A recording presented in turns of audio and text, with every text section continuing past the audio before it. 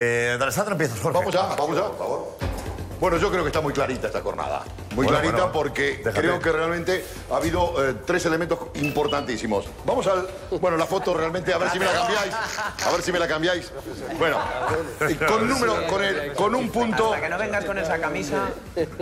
¿La quieres? Por favor. si favor, te digo esta camisa, te, te- te llevarías una sorpresa. A ver. Vamos a ver. Sergio Ramos. ¿Por qué Sergio Ramos? Evidentemente porque es el hombre milagro. Es el hombre capaz de haber provocado primero el gran debate que tuvimos, segundo el conductor de emociones y tercero haber revolucionado esa puerta 55. Fantástico. Sergio Ramos mantiene un liderazgo con un equipo, no- un partido no apto para cardíacos. Vamos al número dos. Dos puntos a Iborra.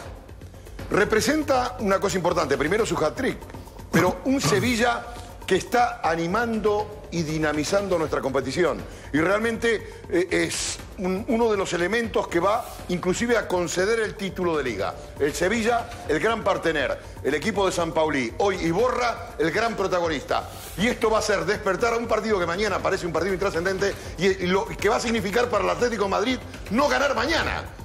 Atención, y estamos hablando de la jornada 16. El Sevilla e Iborra. Y con tres puntos.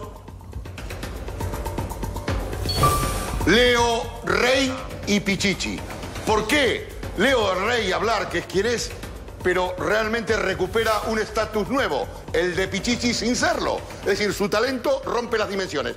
Pero para, que este- esto se haya producido en el Sadar, con las brillantes imágenes de mi compañero Borja Mazarro, eh, quería destacar la recuperación de algo clave en el Barcelona, la amplitud.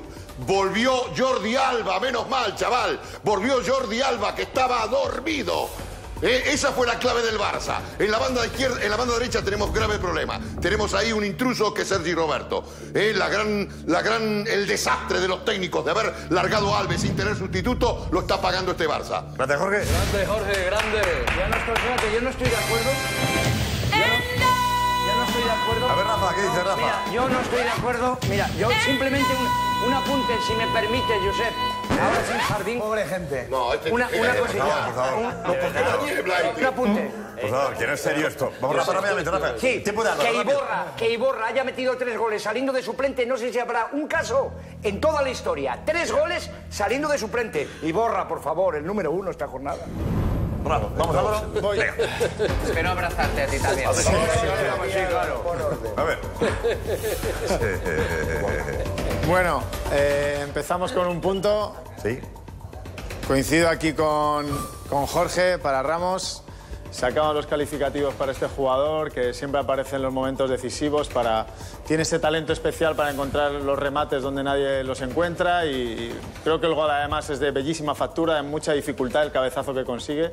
Para dar de nuevo tres puntos importantísimos al, al Real Madrid. Un punto merecidísimo. Con dos puntos Leo Messi. eh, hemos visto. Silencio, por favor. Grande, Álvaro. Por favor. Yo no Eh, tengo la inconveniente, un yo- poquito, yo ¿no? pongo, esto en una independientemente del equipo que sea. vamos. Leo Messi hemos visto hace un momento la exhibición que dio en, en el Sadar y, y bueno, eh, yo creo que dos puntos, que hubiesen sido tres, si no llega a ser, por lo que ha comentado nuestro compañero Rafa Guerrero, creo que, que el más destacado de la jornada es sin duda Iborra, en 45 minutos hacer un hat-trick, jugando en la posición en la que juega él y también como cabeza visible de, de un Sevilla que creo que está haciendo una temporada excelente y hay que reconocerlo. Bien, Álvaro.